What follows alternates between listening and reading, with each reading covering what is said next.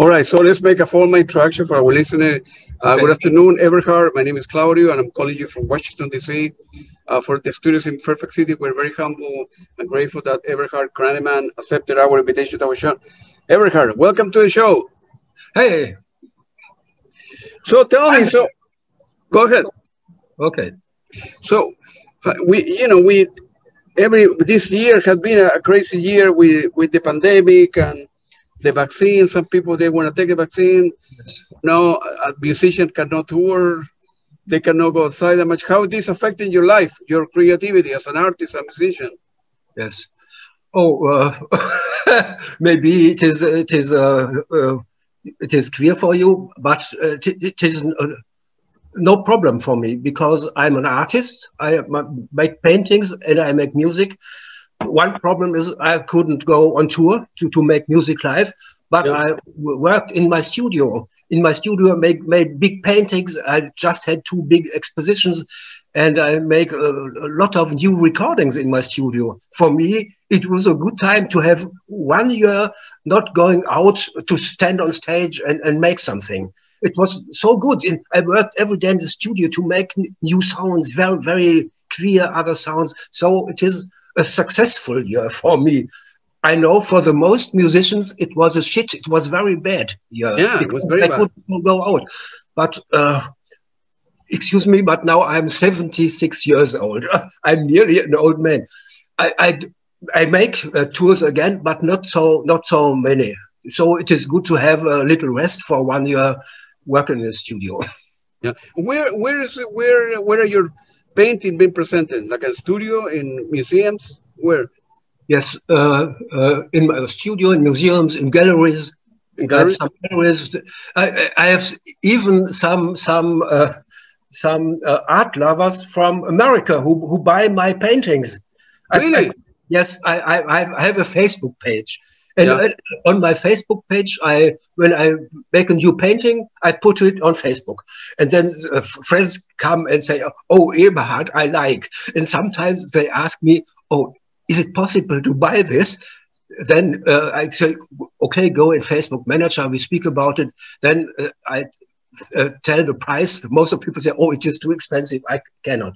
But I have uh, especially two American uh, art lovers who, who, who buy my uh, paintings. And it is important. One man living in Florida, it is a director of a big museum. He has bought five, six, or seven uh, artworks of mine. And he's a Kraftwerk fan too. He's a music fan and an art art fan. Oh, so wow, yeah, like me. Yes, yeah, I don't. Yeah. I don't. Maybe maybe yeah. I will get maybe I will get a painting from you when I visit you in Düsseldorf. Okay, there, there are people. Uh, it is interesting. there are people um, who are interested in, in music, especially in Kraftwerk, where I worked in 50 or 60 years ago. Yeah. And they, oh, this Kraftwerk musician is a painter too. Or oh, I like this. Then I want to buy. But I think they want to buy not because I'm a wood painter, because I'm a Kraftwerk man, and I'm a good painter too. So I sell my art to America. Ah, uh, I got you, got you. How many, how many, how many paintings that you do like in a month? oh, that differs. Uh, it depends. In, in the last half year, I was uh, working. Uh, uh I was a lot. I'm, um, I made a lot of paintings, maybe uh, two paintings in a week because I had two big expositions and I had to make the paintings for, for this exposition. I was the past last exposition was an exposition for Joseph Beuys. Joseph Beuys is a very important uh, German artist who, who died. Uh, he was born 100 years ago. And so the, I had been invited to a Beuys exposition and I made about 10 Joseph Beuys portraits this was a lot of work to make portraits because normal, normally I am an abstract painter. I make abstract compositions. But for me, Beuys is an important person because I made a performance with him, with him in 1968. I made the music and he made his Handaktion. And this was the reason I thought about back to Joseph Beuys and my, made uh, Joseph Beuys portraits. And I showed all these portraits in this uh, Beuys uh, uh, gallery. But before, I had another gallery in, in, in Düsseldorf too. Uh, I showed um, very, very modern, abstract other other things, very uh, uh, paintings made by, made by with, with, a brush, but worked out uh, electronically with changes and all this. Very difficult. And they, did you end up and they, they do you end up sell, selling those the portrait? Yes, uh, some people uh, uh, buy because uh, I must live from this. If I don't sell anything, I could say goodbye. no, I go away. so uh, I, I must sell something, but uh, there's one problem. Uh, I only make my own thing what I want to do. And this is a problem. This is same with music. In, in art and music, uh, the, the art dealers and the music dealers, they tell you what they want to have. They say, please make this music for me. Please make this painting for you, for me. I don't. I only make what I do. And this is a problem because I could uh, earn more money if I would uh, collaborate with the art dealers and with the music dealers, I don't because very many of them are totally shit. They are so bad. I don't want to have this. I make my thing. If there's someone who buys my music, okay. If there is someone who buys my paintings, okay. If not, is okay. Gotcha. I, uh, I understand. so, were you born like um, in a, in a musical family at all when you began playing no, either guitar no. or piano? No, no, nothing. I I was born in a very normal standard family. Family. My my my my father was working in a bureau, bureau in an office, and my wife. This time I was born 1945. She was a housefrau, housewoman, housewife. Housewife, yeah. Yeah, yes, something like this. So it was totally normal and very strong and Catholic, all this, no? And uh, maybe this is the reason why uh, uh, I want to go, to go away from this, from this education, from this strong normal education. I went out to make my own thing against uh, family ideas. And really? first they did not like it. They said, "Oh, uh, Eberhard, please don't don't become a musician. Don't become a painter. You don't earn money. You can't can uh, you cannot live from this may may a normal go into an office to work like my father but i did not. So uh, and then so you you went to um so you end up going to the Düsseldorf uh, to study painting, the art academy, right? Yes, but because this, I, I grew up in Dortmund. It is Dortmund is a town uh, away, 50 kilometers away from Düsseldorf. The first thing I made was uh, studying music in Dortmund at the conservatory. I studied double bass. Uh, cons conservatory double bass, yeah, yeah, yeah. like this, no normal instrument, and in classical with uh, to to see the notes, the sheet. I played in a classical orchestra, everything very very very normal. But it yeah. was very interesting for me because uh, it was good to learn what, what is music. You you know you have very many contacts to other musicians, and you know the most of the krautrock musicians don't know what it is classical music. Even they can't read the sheets, the notes. They just play for fun what they have the feeling in them. That's right. I'm another kind of boy. I was I, first I studied classical so I know what music is, what the sound is making with you. Yeah. And uh, uh, uh at, even at the conservatory uh, time when I played in a classical orchestra, I made in the night I made jazz music in, in Dortmund in jazz Keller. Very, very. I, I did not. Uh, I earned money, but not so much in this time. I got 20 Deutschmark for one night playing from 8 to 1 o'clock in, in concerts with double bass and my, my fingers were, were wounded by playing. bam, bam, bam, bam, bam, only this. But later I saw, ah, it is more interesting to make exper experimental music. Then I stopped playing the double bass. I, I, bought a guitar, a tenor saxophone, a clarinet, a piano. Now, now I play about 30 different instruments and I like it very much. Wow. So, so what, what kind of, when you were what kind of music were you listening to at the time? Uh, yeah, this is a very uh, interesting question. I don't listen to music uh, I, I, make myself. I only listen, most of the time, I listen to uh, early American jazz musician. At the John time? Col yeah. Yes, John Coltrane. For me, he is the boss. He's the godfather of all.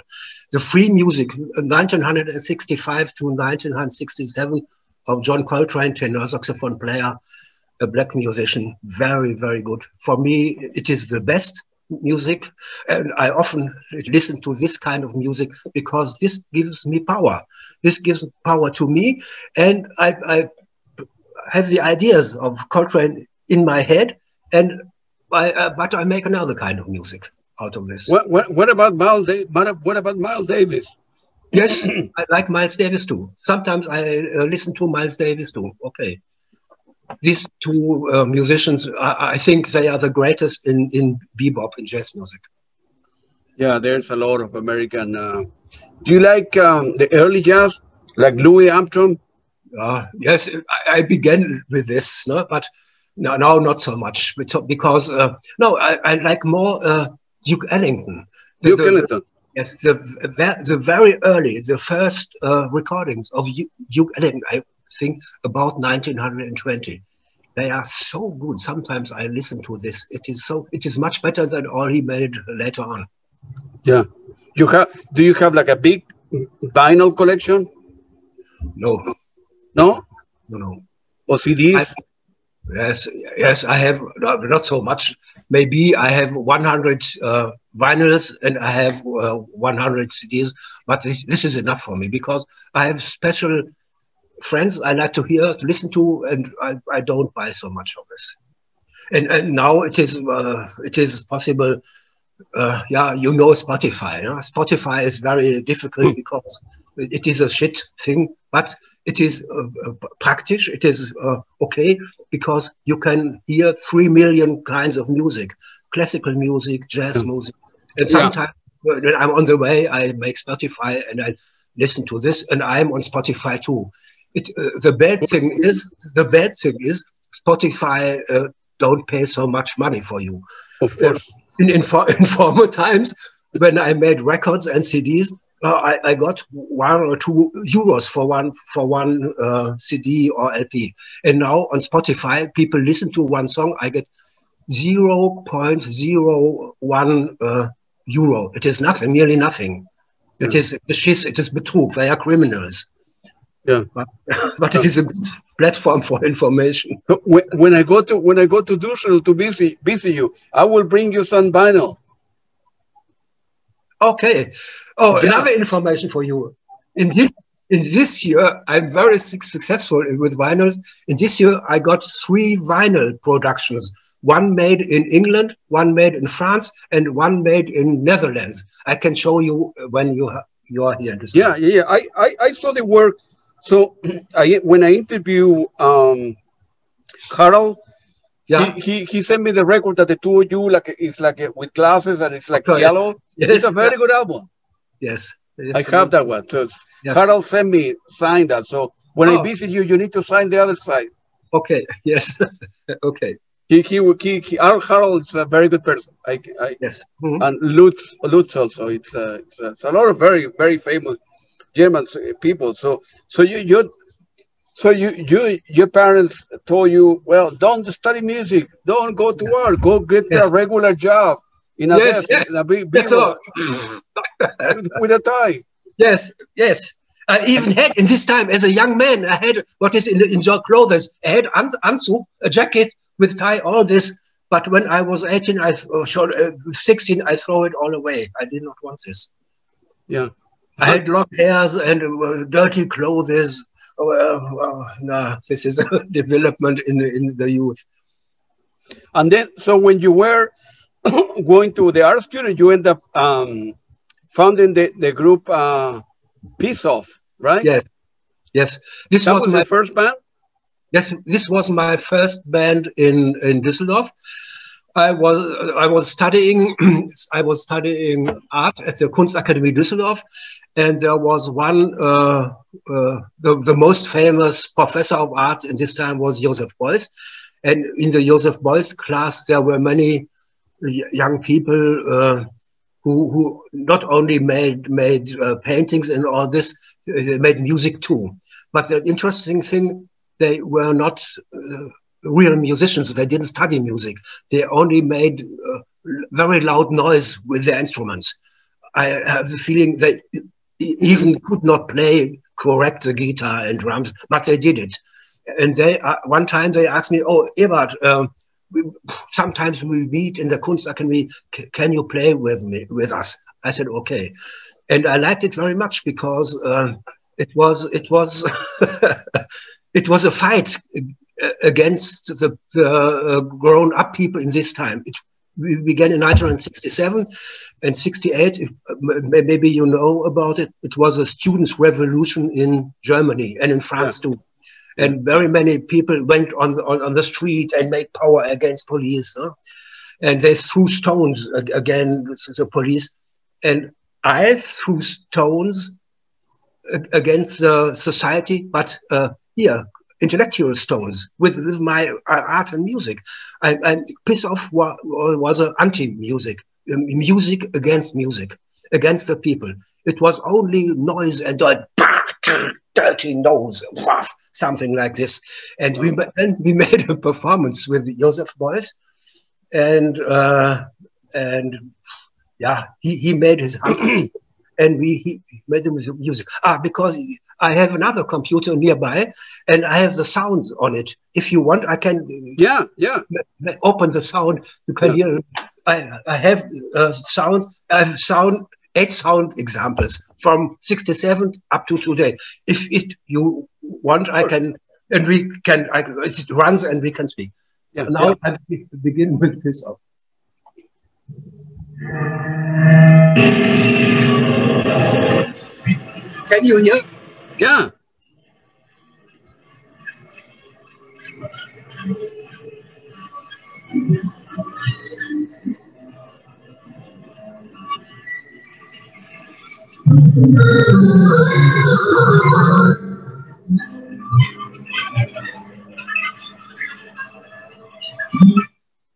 Uh, this is Piss Off this was 1968. wow. Um, do you you guys end up doing per live performance? Live performance. This was how many? How many people? Yeah, 300. Wow. It was very successful. Successful. People liked it very much. We made it in Creamcheese in Düsseldorf, 1968, with together with Joseph Beuys. And this time, you know, people smoked a lot of uh, uh, what is it, grass, uh, hashish, marijuana, marijuana, small, or in the, the room, small room with 300 people. So, so, so uh, they all smoked marijuana and the room, the, the room was full of uh, nebel, yeah. like for, and very many, we music, musicians too, we made marijuana and then we put LSD in, and then oh, we were very away from, from, from the real world. but it was very interesting. Yeah. So and then so and then so you you continue with with with that group Piss Off for for a while. They record. They didn't record it or no? Any vinyl? No. No. Yes. Yes. I I I made a vinyl now. In this year, 2021, uh, this year, there was a French uh, record company. They asked me, "Oh, Ebert, you made this performance with Piss Off. Uh, can you give me, uh, can you give us the sound? We make a vinyl from this." And I gave, and I have the vinyl now here and uh, I can show it to you when you are in Düsseldorf. Yeah, and then you end up selling those? Yes, yes, they are selling very good, which is okay. Really? Wow. Where yes. in France or or in Germany? No, everywhere in the whole world. It it is goes away from France, but uh, if you order, you can order it. Uh, I, I can send you uh, a, a, link where you can order it later. Yeah. When, when I visit, you can order you Yes, I can. Yeah, yes, I can. You can. Everyone in the whole world can order it in France. The price of one uh, vinyl is 21 euros, but the problem is even for Germany to send it from France to Germany, people have to say 14 euros too. So they you have to pay 35 euros. It's, expensive, right? For for music lovers. And if yes. they sell uh, to America, it is much more expensive. But I think there are too some people who are interested in this and buy this. Well, all the people that buy your that buy your painting, maybe they would like to get the Piss Off too. Yes, yes. All the yes. all the Kraftwerk people. Yes, so, they like it. And, and then after that, in the in the early in your career, you end up joining Kraftwerk, uh, and then you you know you play bass guitar. How how did it happen? How you end up playing with uh, Florian, with Ralf, with Peter Schmidt, and how did it happen? How you end up getting with in Kraftwerk? Uh, I I began with Florian in '67. The, the reason was uh, in '67 I, I had some, some gigs with Piss Off, very hard uh, anti music. And uh, sometimes when we played, there was a small little boy, little in a corner, and listened to very exact what we are doing was Piss Off. And one time after a concert, he came to me and asked me, "Oh, Eberhard, is it possible? No, nicht Eberhard, Mr. Kranemann, is it possible that I can uh, play with you?" And this was Florian Schneider-Esleben. And then we made some gigs with Florian. The, the band very powerful, and Florian very soft with his foot, playing foot with it. And then uh, we, we, we began to make our uh, own music. This was the beginning of Kraftwerk, 1967. Only Florian and me. We, we met in my home and we met in his home to make music. And sometimes I recorded a little bit.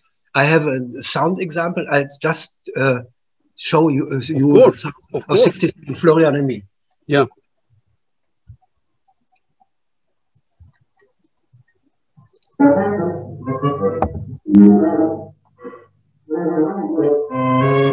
This is Florian. I play.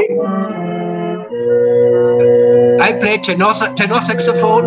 Yeah. Florian plays electronic flute. Yeah.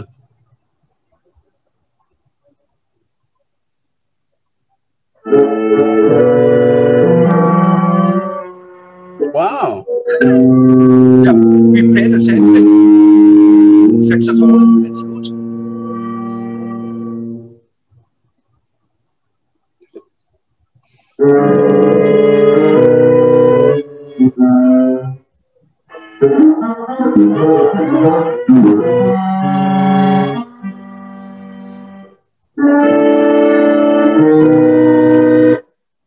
You, you, you see, it is a it is another kind. It is not Piss Off. Piss Off was anti-music against everything, and here with Florian uh, begins a new thing. It yeah. is more music because we are both interested to make in making good music. And uh, I studied music, and uh, I think Florian had a good teacher in playing uh, yeah. the flute, so we could play together. It was very good. And, and then when when uh, Ralf and, and Peter Schmidt came later? Yeah, later. Uh, uh Ralf Hütter came one year later in 1968. Uh, he came to the group because first we made alone, Florian and me. But then we said, oh, we can make a group, maybe more people. Then we need a drummer and we need a, a piano player. And then yeah. the piano player was, uh, at, at, in the beginning, was Ralf Hütter. And the drummer, the first drummer was uh, Charly Weiss.